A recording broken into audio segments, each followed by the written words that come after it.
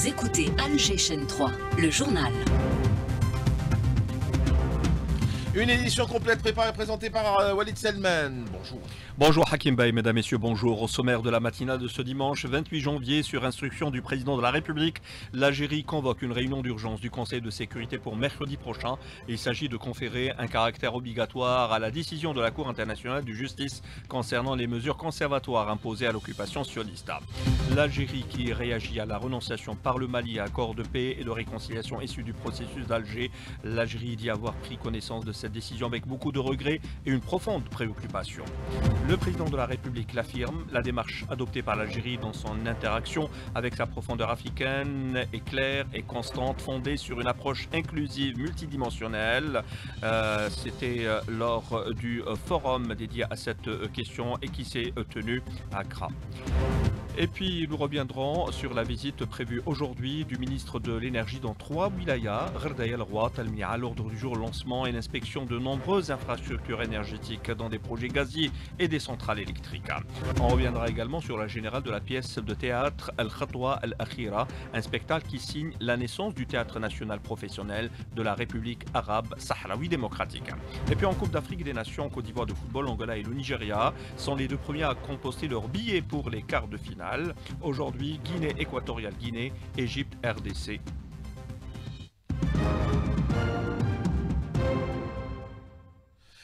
Et pour commencer, à la demande de l'Algérie, le Conseil de sécurité se réunit ce mercredi, euh, Walid Selman. Demande formulée par la mission permanente de l'Algérie auprès de l'ONU sur instruction du président de la République, réunion dans les plus brefs délais. Il s'agit de conférer un caractère obligatoire à la décision de la Cour internationale de justice concernant les mesures conservatoires imposées à l'occupation sioniste pour ses attaques contre le peuple palestinien dans la bande de Gaza. Il s'agit notamment euh, de garantir la sécurité de la population gazaoui et l'acheminement de l'aide humanitaire. En tant que représentant du groupe arabe à l'ONU, l'Algérie est dans son rôle, souligne Ayman analyste politique spécialiste des relations internationales, qui salue dans la foulée le soutien indéfectible de l'Algérie à la cause palestinienne. Il le dit à Karima Hasnaoui.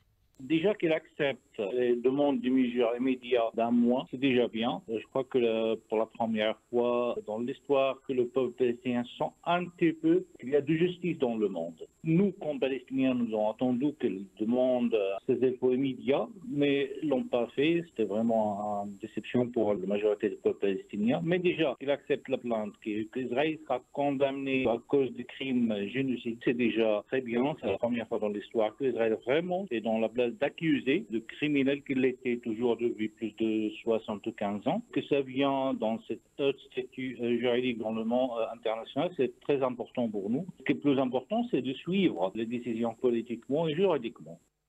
La réunion du Conseil de sécurité va permettre de définir les positions et réactions des grandes puissances à l'égard du verdict préliminaire et par conséquent vis-à-vis de l'entité. L'écrivain et analyste chilien Esteban Silva parle de pas importants. Les mesures énoncées par la Cour internationale de justice vont, dit-il, obliger l'entité à stopper ses opérations génocidaires contre les Palestiniens? Il le dit à Nasser. Nous croyons que c'est un pas important. D'abord, c'est la reconnaissance d'une institution, la Cour internationale de justice, que Israël est en train de commettre des crimes de guerre, qui a une attitude génocidaire contre le peuple palestinien. Et ça permet, à notre avis, de mettre pression de cet État du monde pour s'opposer au génocide contre le peuple palestinien. C'est un pas en avance. C'est pas encore une résolution qui va obliger à Israël à arrêter sa action meurtrière contre le peuple palestinien et nous espérons que bientôt la Cour internationale crée des mesures concrètes pour que le peuple du monde rétablisse l'ordre international humanitaire même et qu'impose à Israël son arrêt immédiat des actions génocidaires contre le peuple palestinien.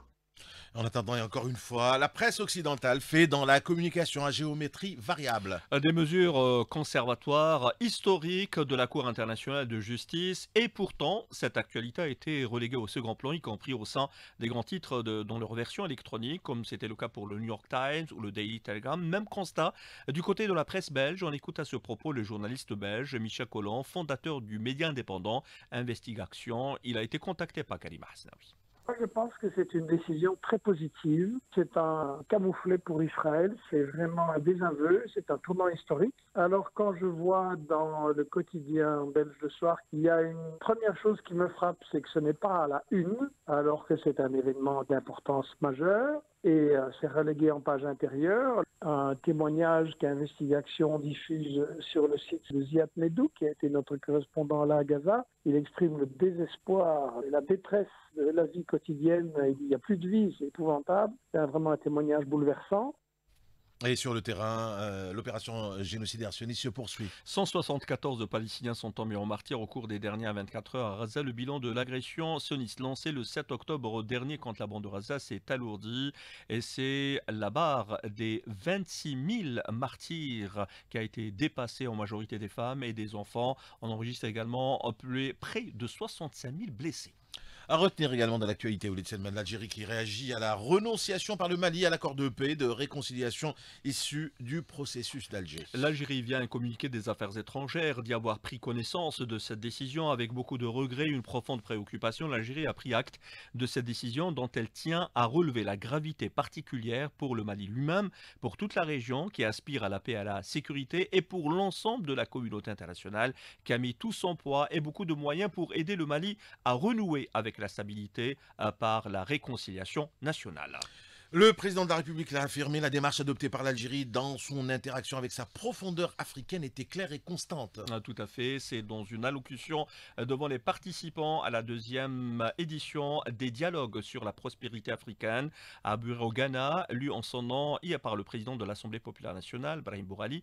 Le président de la République a affirmé que la démarche adoptée par l'Algérie dans son interaction avec sa profondeur africaine, fondée sur une approche inclusive, multidimensionnelle, euh, sous-tendue par le triptyque sécurité et développement, une démarche qui tient compte des causes réelles des différentes menaces auxquelles est confronté le continent qui atteste de la souveraineté des pays et rejette l'ingérence dans leurs affaires intérieures, quel qu'en soit le prétexte Hakima.